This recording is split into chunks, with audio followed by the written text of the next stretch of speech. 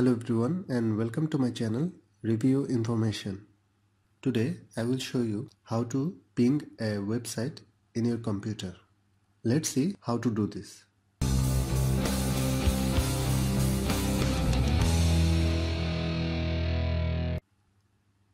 To ping a website, you will need to open the command prompt from your start menu. For this, go to start menu and type CMD. Click on the command prompt option. To ping a website, you will need to type the word ping space followed by the website such as www.youtube.com.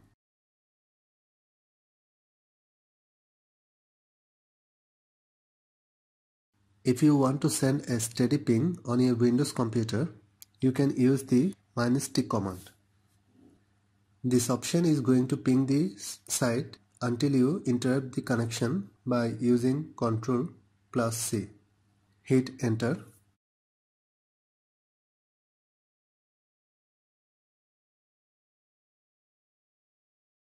After entering the command, you will get a series of words accompanied by numbers.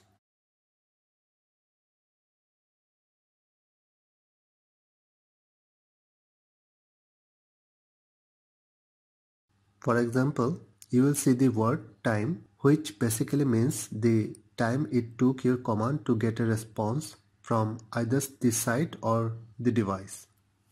To the right of the time column, you will also see TTL that means time to leave.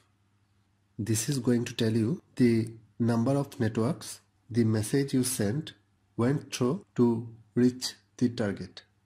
To see how strong the connection is, you will need to look at the ping stats. So that is how you can ping a website from your computer. Thanks for watching. Hope you guys enjoyed my video. Please subscribe my channel for more videos. Goodbye.